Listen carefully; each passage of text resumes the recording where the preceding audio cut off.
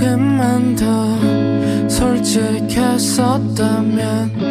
지금은 조금 달랐을까?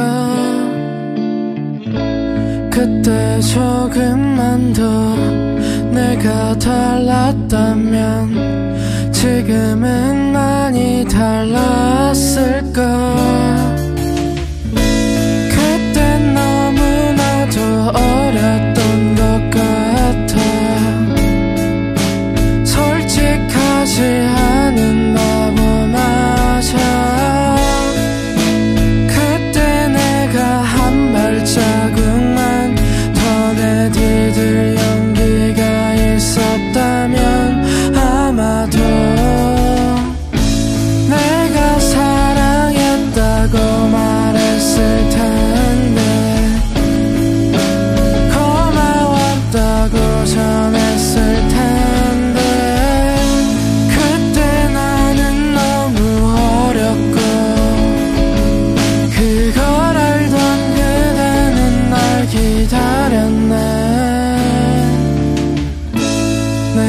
좀 더 어른이었다면